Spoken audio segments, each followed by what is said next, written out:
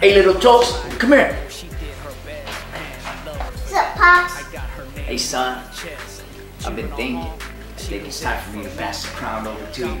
I think it's time for you to take over this game. Alright, Pops. I won't let you down. I'll make you proud of me. That's right, son. Stomaching the low lows hot. Little G's in the Varrio always hard.